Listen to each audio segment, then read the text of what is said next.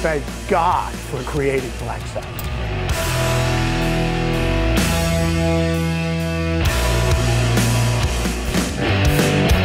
Um, Black Sabbath, this is the song, right? This is the manifesto for all that is heavy metal.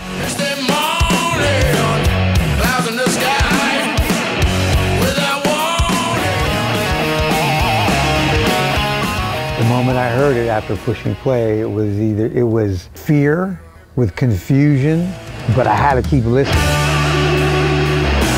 I was Catholic when I put the record on. By the time I got done with the side of the record, I was pretty much a full-blown Satanist. Just a little bit too strong.